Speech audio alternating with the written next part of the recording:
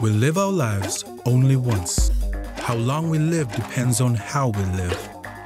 Regular exercises will help you to play with your grandkids or even the great grand ones. For life is best lived longer.